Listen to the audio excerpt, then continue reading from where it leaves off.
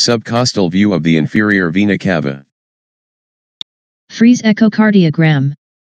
Linear measurements.